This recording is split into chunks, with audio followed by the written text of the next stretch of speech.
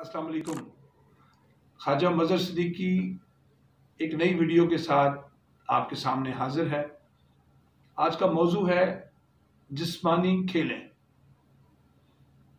जब से दुनिया ग्लोबल विलेज बनी है और सिमट कर एक कंप्यूटर में आ गई है, मोबाइल में आ गई है, टैब में आ गई है तो हम सिमट कर रह गए हमारी ज़िंदगियों की नकलो हरकत भी महदूद हो गई है।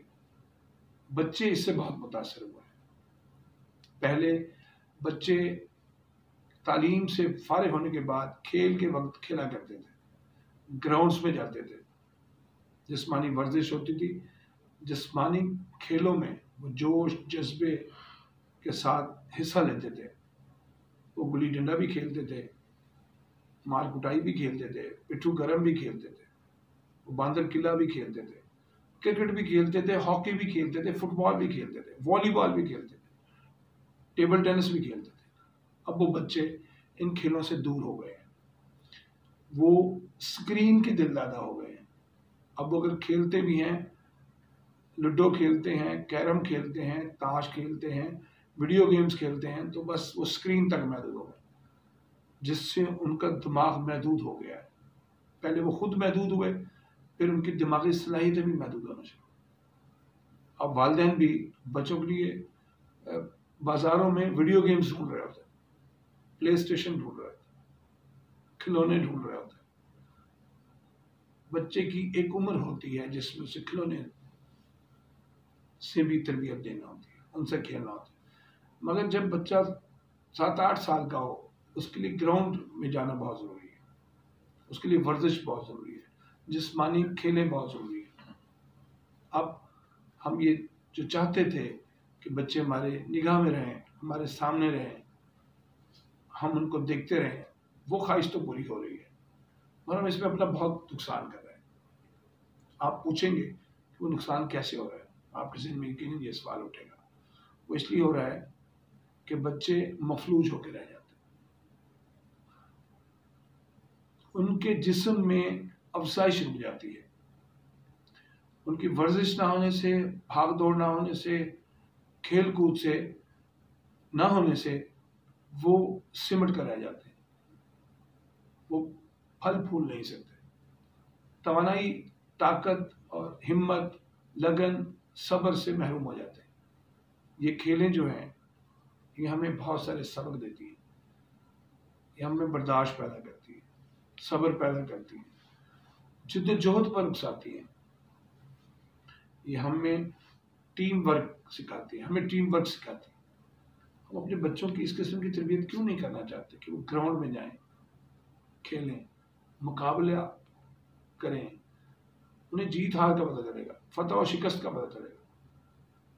उन्हें पता चलेगा कि मुखालिफ से कैसे डील करना है, मुखालिफ को कैसे लेना है, किस अंदाज से लेना है। ये चीज़ें तो ख़त्म होती जा रही मफकूद हो रही हम सिमट गए हैं, हम एक कमरे में कैद हो गए हैं, बंद होकर रह गए हैं। तो हमारी दिमागी सलाहियतें भी जंग आलूद हो जाएँगी।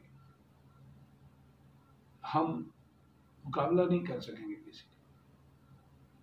पहले ज़मानों में, पहले वक्तों में घुड़दौड़ी सिखाई जाती थी। बच्चों को जानवरों पर बिठाकर उन्हें सैर करना सिखाया जाता था, मुकाबला करना सिखाया जाता था।